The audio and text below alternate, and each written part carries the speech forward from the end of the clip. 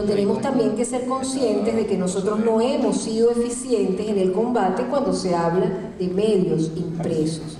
Es una necesidad esencial y que en cierta forma debe considerarse como una obligación ideológica y de honor para el periodismo bolivariano.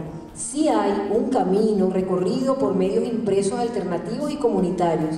No es a esto lo que me refiero, sino a un diario escrito que sea atractivo en su lectura para quienes aún no están dentro de nuestras filas y para nosotros mismos, y que tenga distribución masiva y nacional.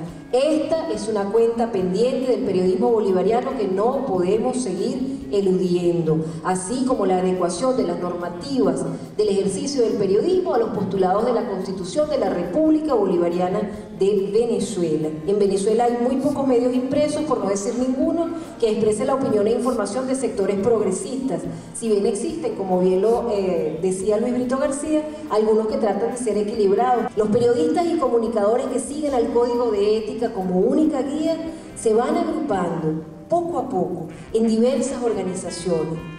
He tenido maestras singulares como Cristina González, como Elena Salcedo, en el movimiento por el periodismo necesario al cual pertenezco con orgullo, como María Adela Linares, como tantos otros compañeros, quizás para ser buenos periodistas deberíamos tener en cuenta lo que un poema de Mario Benedetti dice, si nos hiciéramos uno con el pueblo y fuéramos con ese pueblo una gran fuerza, podríamos entender este poema no como un poema amoroso, sino como un poema que hermana el pueblo y los periodistas, el pueblo y los comunicadores.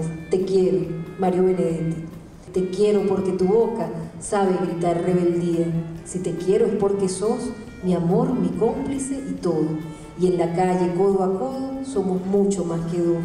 Y por tu rostro sincero y tu paso vagabundo y tu llanto por el mundo porque sos pueblo, te quiero.